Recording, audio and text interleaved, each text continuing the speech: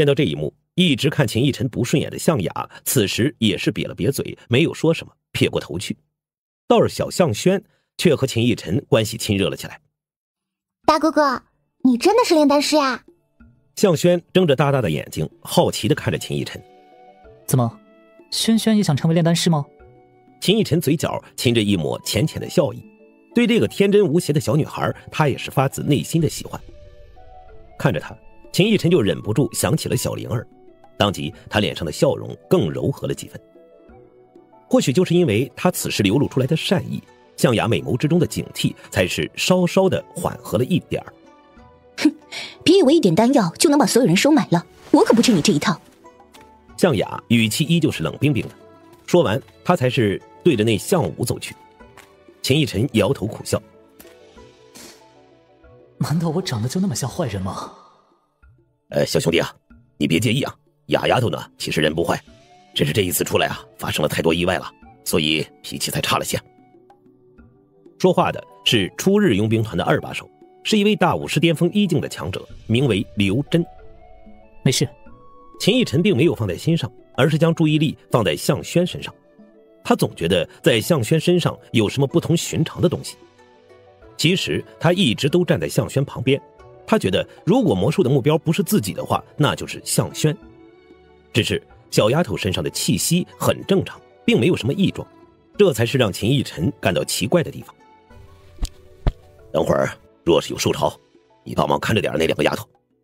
刘真拍了拍秦逸尘的肩膀，大有深意的说道：“刁老哥放心。”他脸上的凝重让秦逸尘也不敢太过于放松警惕，便是缓缓的靠向两姐妹。若是出事他也好照应。大哥哥，我们会没事的吧？向轩抬着头，水灵灵的大眼睛望着他，瞳孔内有几分惬意。她毕竟还只是一个十一二岁的小女孩而已，也并没有多少自保的能力。若是换作是其他人家的孩子，估计看见那种血腥厮杀的场面。就已经被吓得魂飞魄散了。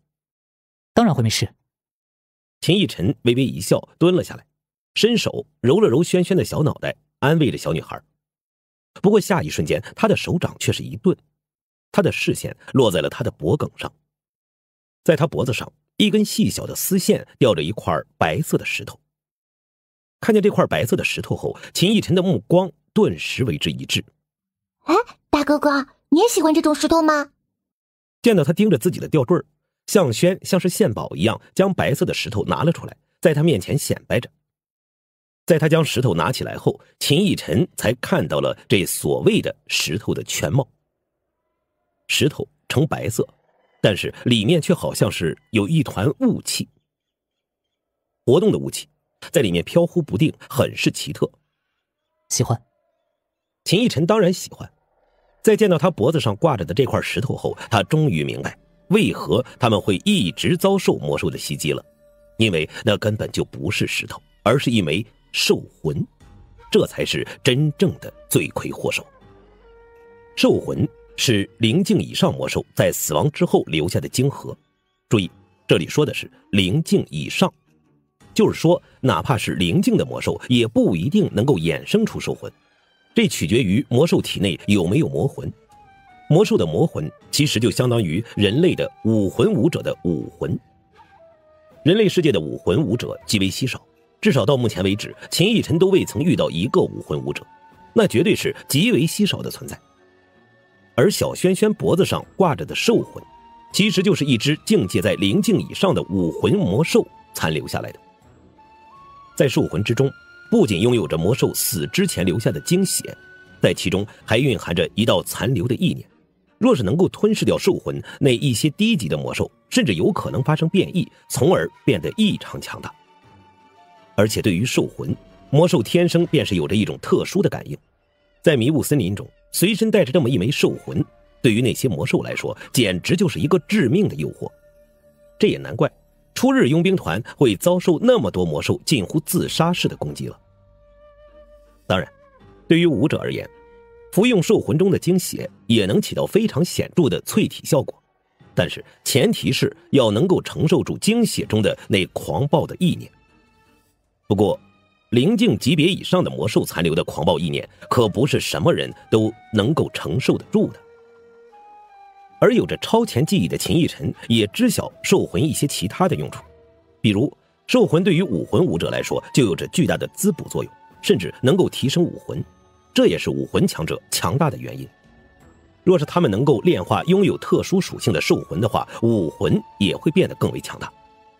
当然，最让秦逸尘好奇的是，这兽魂小轩轩是从哪里得来的？要知道。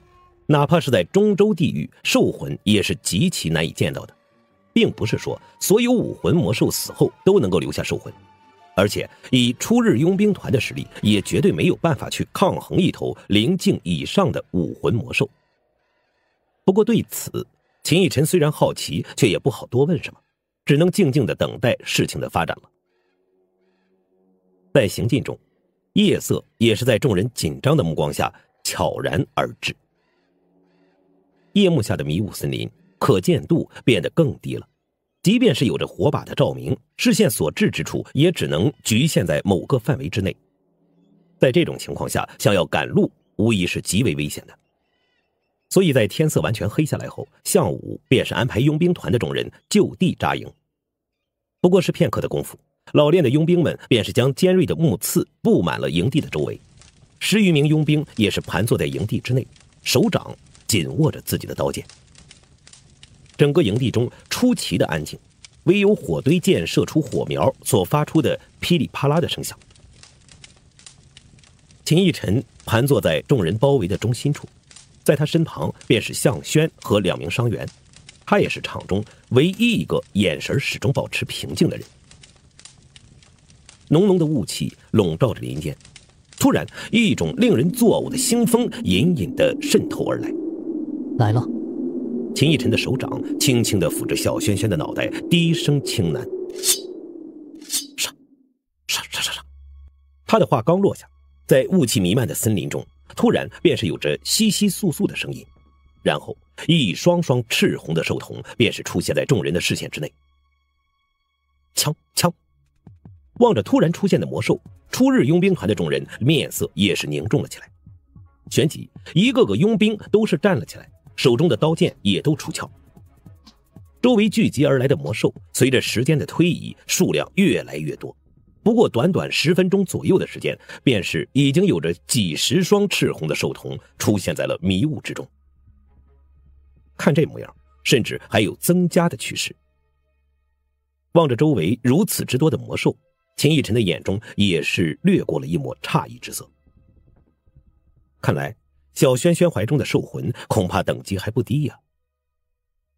在秦逸尘身边的小轩轩望着周围出现的如此之多的魔兽，小脸儿都是被吓得有些发白，一只小手更是牢牢的拽着秦逸尘的衣衫，似乎这样可以给他安全感一样。因为他总觉得那些视线都在盯着自己。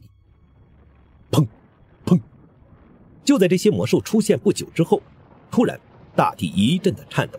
接着，两道极为凶悍的气息出现在了迷雾之中。啊，巅峰二境的魔兽！察觉到这两股凶悍的气息之后，初日佣兵团的众人面色都是变得有些惨白了起来，甚至连向武的眼神也变得极为阴沉。